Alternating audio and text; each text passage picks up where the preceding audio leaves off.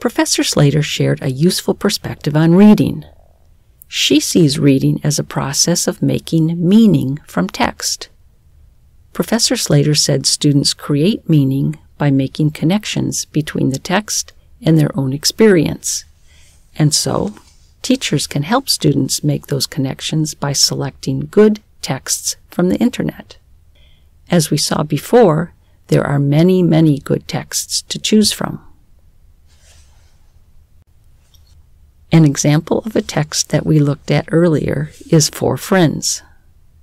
A teacher might select this one for young teenagers who are about the same age as those who are in the interviews in the text. A selection of a text like this, according to Professor Slater, would potentially allow the readers to connect what they know about their own lives as teenagers with the lives of the American teenagers. They also might be interested in learning what students of a similar age to themselves do in the United States. I asked Professor Slater to talk more about why she thinks reading is so important for students. Why do you think it's important to teach reading to students? Nowadays, with the internet, being able to read in one's first language anywhere in the world is much easier. So why learn to read and write in a second language? Culture is constructed through language, and if folks are interested in learning about another culture, an obvious way to do it is by reading works created by people in that culture. In other words, we learn through reading. The more we can read, the more we can learn.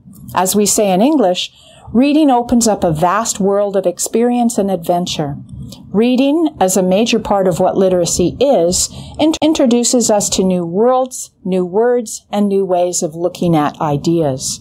Research has shown that readers have larger vocabularies than non-readers, and in general can write better.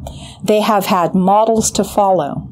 Reading in various content areas can also help us learn language, particularly about the various disciplines.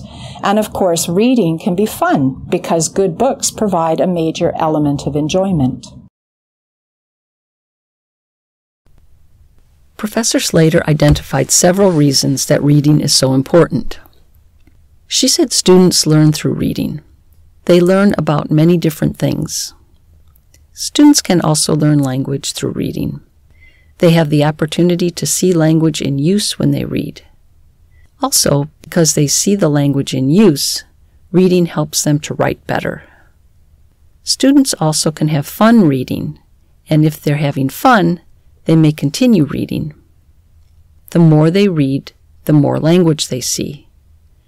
Students can also become informed world citizens by reading. We saw the example of the Voice of America website.